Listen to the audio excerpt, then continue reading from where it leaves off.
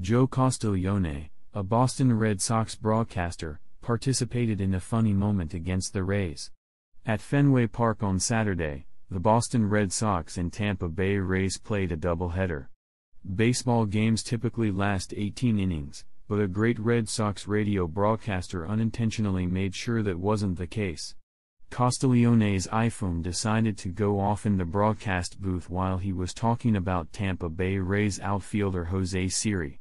Castiglione laughed and was startled when the word Siri activated the phone's Hey Siri feature. The Red Sox radio network has provided a live stream of the event for your viewing pleasure.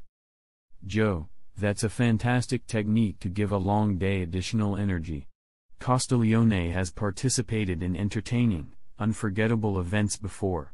When a fantastic Andrew Benintendi catch, Castiglione lost his seat when the Red Sox defeated the Astros in the 2018 ALCS.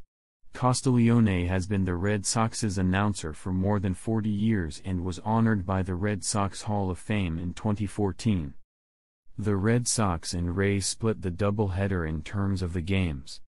Justin Turner's heroics helped the Red Sox win the first game, but the Rays won the second one, 4-2, owing to several runs that they scored in the ninth inning against Red Sox closer Kenley Jansen. Before playing a makeup game on Monday, the two teams will play on Sunday at 1:35.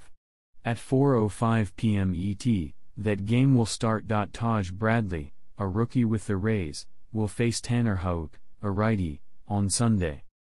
Follow Fastball on social media with Fan Nation. Follow us on Twitter at FastballFN and like us on Facebook to keep up with our coverage of Fastball on Fan Nation. The The Payoff Pitch podcast is also available on Apple Podcasts and Spotify.